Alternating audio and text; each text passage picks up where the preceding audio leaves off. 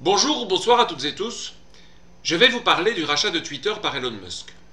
Alors ce n'était pas prévu au programme parce que je ne savais pas que ça allait arriver, mais vous savez que je prépare une vidéo importante sur le transhumanisme, le transhumanisme qui se rapproche à grands pas, notamment grâce au schéma dont je vous ai déjà parlé, qui a commencé avec le confinement, le pass sanitaire, et on avance avec l'identité numérique, le crédit social, et ça va vers le transhumanisme. Il y a encore des gens qui ne comprennent pas le lien, et je comprends, c'est peut-être pas si évident, et donc je vais essayer de l'expliquer de façon didactique, comme j'essaye souvent de faire, vous le savez, et de façon la plus claire possible pour tout le monde.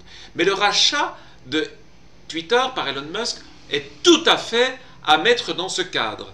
Je vois sur les réseaux sociaux, notamment sur Twitter, où j'ai de plus en plus de followers, je vous remercie d'ailleurs et je vous salue, où j'ai maintenant bien plus de succès que sur Facebook, alors que très longtemps Facebook a été, je dirais, mon provider, mon fournisseur, mon premier fournisseur euh, de visiteurs sur mon site et sur ma chaîne YouTube, c'est maintenant Twitter qui est en train de prendre la première place. Et donc le rachat par Elon Musk qui annonce une liberté d'expression où je peux parler des injections sans devoir tronquer le mot parce que sinon il était censuré, je considère ça comme une bonne chose. Mais à court terme, de mon point de vue personnel, c'est une bonne chose. Et beaucoup de gens sont dans la même idée. Donc sur Twitter, évidemment, je vois plein de gens qui disent bravo Elon Musk. Et en plus, on voit l'Union européenne et d'autres organismes qui sont contre la liberté d'expression, qui sont pour la propagande et la informations qui s'offusquent. Donc évidemment, on est content. Est-ce qu'on peut s'arrêter là? Eh bien, pas tout à fait. Parce que si le rachat de Twitter est une bonne chose à court terme et qu'on peut remercier Elon Musk et qu'on peut s'en féliciter, il ne faut pas non plus tomber dans l'angélisme et l'idéalisation. Et je sais que malheureusement, c'est souvent le cas actuellement de gens qui ne font pas la part des choses. On voit par exemple des gens qui idéalisent Donald Trump. Et avant son élection, quand il était opposé à Hillary Clinton, je disais, je préfère Trump parce qu'il n'y aura pas de guerre avec la Russie. Et j'avais bien argumenté. Et on a eu Trump, on n'avait pas eu de guerre avec la Russie. Et quand Biden a gagné, honnêtement ou non, on sait qu'il y a eu pas mal de tricheries, ça ne change pas grand-chose, de fait il est président, et j'ai dit attention, la guerre revient. Vous voyez ce qui se passe en Ukraine. Je vous invite d'ailleurs à aller voir mes vidéos sur l'Ukraine, en particulièrement la dernière, qui a une proportion de pouces par rapport au nombre de vues qui est exceptionnellement élevé. Je pense que les gens apprécient beaucoup mes vidéos. Je vous remercie et je vous invite donc à aller voir. Mais revenons à notre sujet. Ce n'est pas parce que Trump était contre la guerre, et qu'il faut le souligner, que Trump est quelqu'un de bien. Trump est un viandard qui détruit l'environnement, qui se fout du réchauffement climatique, il dit même que ça n'existe pas. Enfin ça, je veux dire, c'est pas très sérieux. On peut en rajouter plein de choses. Il diminue les parcs nationaux aux États-Unis, il a autorisé la chasse depuis les hélicoptères, il a autorisé euh, l'importation des trophées de chasse d'Afrique notamment, donc les têtes de lion, etc. On ne peut pas mettre Trump sur un piédestal, mais on peut dire la vérité. La vérité, c'est qu'il est contre la guerre.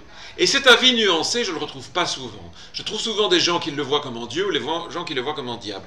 J'ai parlé de ça dans ma vidéo d'Éric Zemmour, où pour comparer la diabolisation et l'idéalisation, j'ai cité Jair Bolsonaro, le président brésilien. Évidemment que je ne peux pas soutenir Bolsonaro pour plein de raisons, notamment les raisons écologiques, mais dire qu'il fait plus de déforestation que les autres, c'est faux. Il fait moins de déforestation que Lula, qui est a priori son prochain opposant à l'élection présidentielle. Ce n'est pas défendre Bolsonaro que le dire, c'est juste dire la vérité. Et pour moi, c'est important.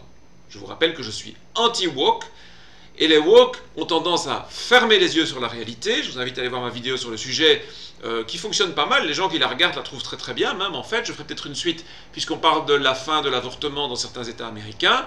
Ce sera tout à fait lié. Et encore une fois, sur ce sujet, on manque de nuances. Est-ce qu'on peut être autre chose que interdire l'avortement ou 100% pour? Est-ce qu'on peut être entre les deux? Et mettre des nuances, ben c'est pareil. Je mets des nuances sur Trump, je mets des nuances sur Bolsonaro, je mets des nuances sur l'avortement, et plein d'autres sujets. Et les gens qui sont intelligents, en général, ils aiment bien les nuances. Et ceux qui le sont moins, ben, ils n'aiment pas. Donc, après, c'est pas pour ça que vous devez être d'accord avec moi.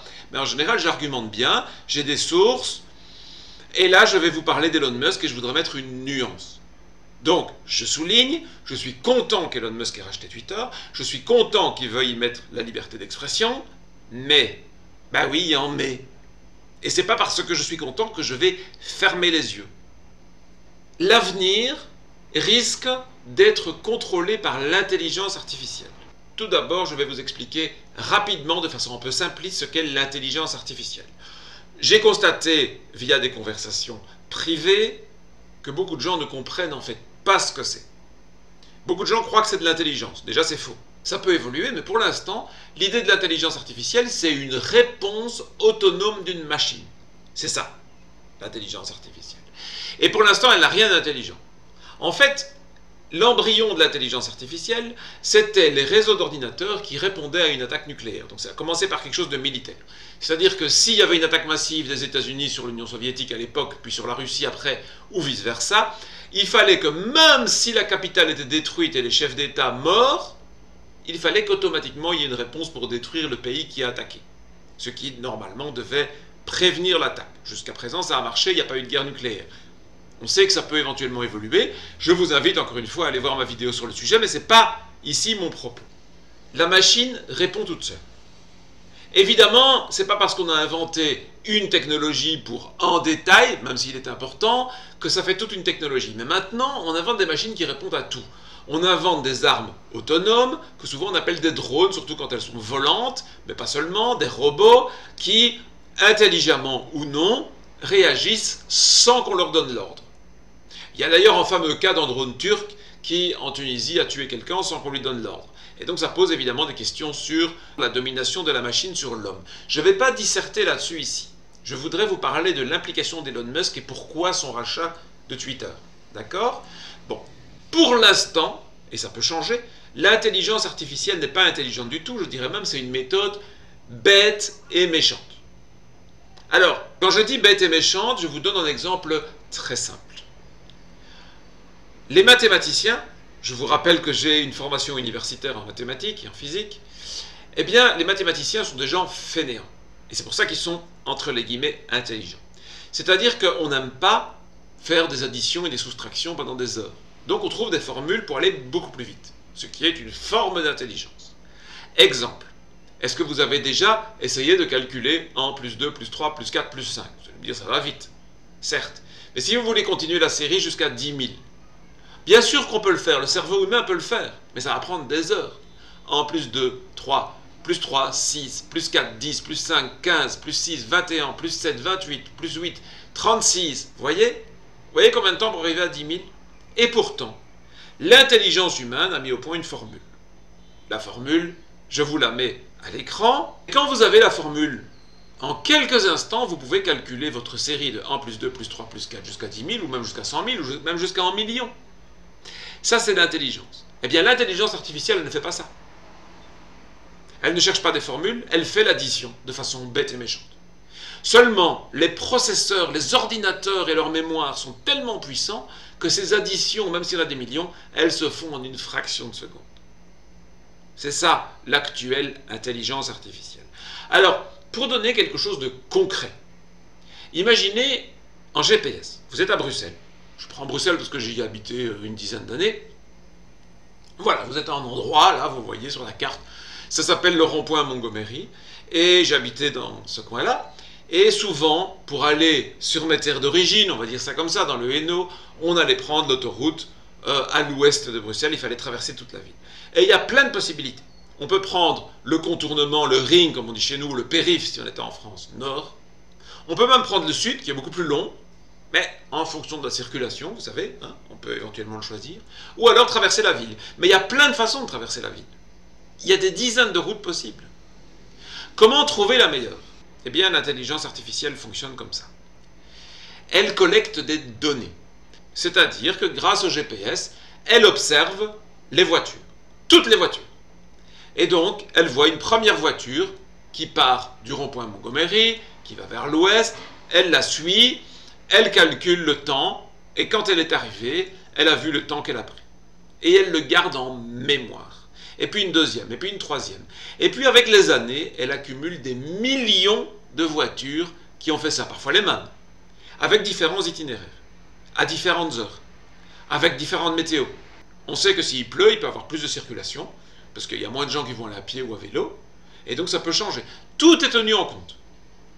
Et puis le jour où, en chauffeur, via son GPS ou son ordinateur demande l'itinéraire le plus rapide, eh bien l'intelligence artificielle va simplement regarder les statistiques. il est 17h32. Sur le million de voitures qui sont parties à 17h32 dans les cinq dernières années de tel endroit vers tel endroit, eh bien, le plus rapide, c'est cet itinéraire. Vous voyez, c'est vraiment une méthode bête et méchante. Je ne dis pas que ça ne va pas évoluer. Évidemment que ça va évoluer. Mais pour l'instant, dans les grandes lignes, c'est ça.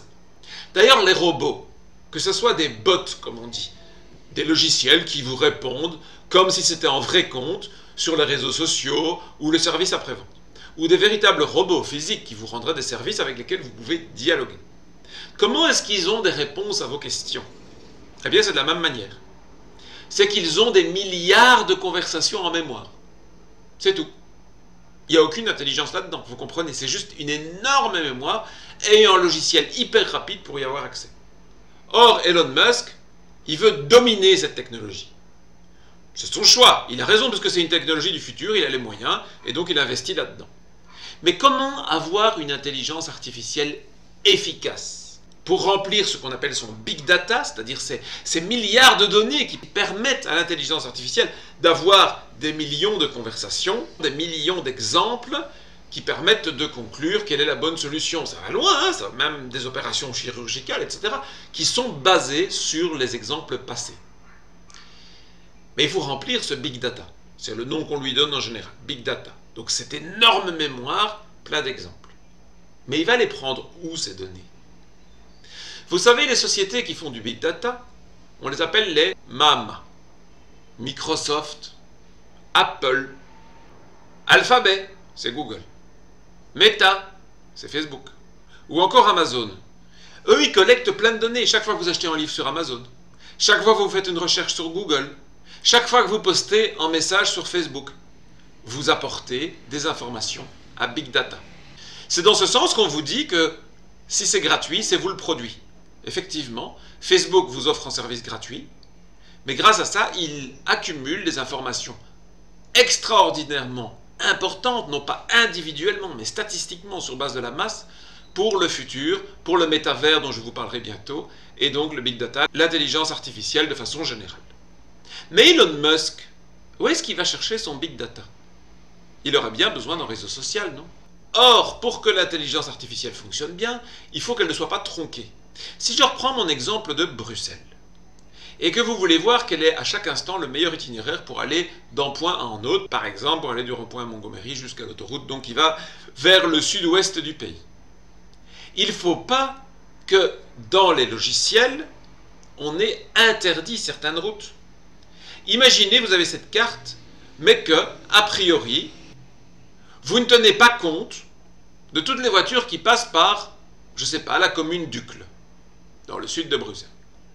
Ben, forcément, vous allez avoir que les itinéraires qui passent par le nord d'Ucle ou par le sud d'Ucle, et pas par ceux qui passent par Ucle. Et donc, vous n'aurez pas la meilleure réponse à la question. Le jour où votre intelligence artificielle sera interrogée, ben, il ne va pas tenir compte de la route via Ucle, qui est souvent la plus rapide, c'est pour ça que j'ai pris ça comme exemple, puisqu'on lui a interdit. Mais c'est ça la censure. Exemple concret. Vous avez des discussions sur les, pardon, les injections. Le mot qui est interdit sur YouTube et qui ne l'est plus sur Twitter. Mais il l'était avant. On ne peut pas parler de ces injections. Comment est-ce que l'intelligence d'Elon Musk pourrait argumenter en faveur ou en défaveur des injections si les discussions sur les injections sont interdites par la censure? Donc, avoir un réseau social pour Elon Musk, c'est très intéressant pour son avenir, ça alimente son intelligence artificielle. Et que ce ne soit pas censuré, c'est essentiel pour son avenir, ça lui permet d'avoir une intelligence artificielle la plus appropriée, la plus équilibrée possible. Donc c'est tout à fait dans son intérêt. D'autant plus que Elon Musk a un nombre impressionnant de followers sur Twitter. Regardez. Au point qu'il suffit qu'il mette un mot, par exemple il écrit Bitcoin, pour que le Bitcoin augmente et qu'il en fasse du bénéfice. Donc il y a un intérêt à court terme pour pouvoir immédiatement communiquer avec ses followers et faire la promotion de ses produits, faire de la spéculation, etc. Et il y a un intérêt à long terme, c'est de pouvoir collecter les données pour son intelligence artificielle. Donc il ne faut pas non plus le faire passer comme un héros qui a gaspillé une partie de sa fortune juste pour vos beaux yeux. Donc Elon Musk n'est pas le diable en personne, mais c'est pas non plus le Messie. C'est comme euh, Trump, c'est comme Bolsonaro, c'est comme Poutine, c'est comme euh, tous ces gens qui ont des qualités, qui ont des défauts, qui font des erreurs, qui font des choses bien. Et alors on peut essayer de façon nuancée de trouver quels sont les points positifs, les points négatifs. On peut en discuter, on peut ne pas être d'accord. Mais arrêtez d'idéaliser ou de diaboliser une personne. Elon Musk n'a pas investi 43 milliards de dollars pour vos beaux yeux, il l'a fait parce que c'est intéressant pour ses investissements et ses affaires. Si accessoirement ça nous rend service, tant mieux, on va pas cracher dessus. Et donc le jour où vous comprendrez qu'Elon Musk a envie de vous mettre un processeur dans la tête pour mieux vous contrôler, ne tombez pas du sommet de la montagne. On sait que c'est ça qu'il veut faire. Et même s'il est peut-être plus raisonnable, qu'il ne veut pas que ce soit obligatoire, etc., ça peut aussi être récupéré par d'autres. Voilà, donc mon message, c'est vraiment ça. Tant mieux si Elon Musk a racheté Twitter, tant mieux si ça ouvre la liberté d'expression sur Internet, au moins provisoirement, mais ne croyez pas qu'Elon Musk prendra toujours des décisions à votre avantage, cette décision est à son avantage, et si d'autres décisions dans le futur doivent être prises à son avantage, mais contre vous, contre votre liberté, je ne vous garantis pas qu'il ne les prendra pas. Et donc si elle les prend, ne faites pas les surpris, les étonnés, les déçus. Elon Musk n'est pas le Messie. Elon Musk n'est pas en Dieu sur Terre. C'est un homme d'affaires qui a réussi de façon magistrale à devenir l'homme le plus riche du monde à partir de rien. Il est donc intelligent, rusé, il sait défendre ses intérêts et il sait communiquer pour défendre ses décisions. Ne tombez pas dans le piège. Je vous remercie encore pour votre attention, comme d'habitude. Je dis ça parce que chaque fois que je fais une nouvelle vidéo, je vois que le nombre de vues augmente, que le nombre d'abonnés augmente. Votre intérêt, les pouces augmentent. Donc, continuez, c'est génial. Partagez, likez, comme on dit, abonnez-vous, cliquez sur la cloche pour avoir les notifications. Et n'hésitez pas évidemment à me soutenir euh, via Tipeee. Ce sont des toutes petites sommes et vous voyez que quelques euros de plus, ça fait une différence pour moi.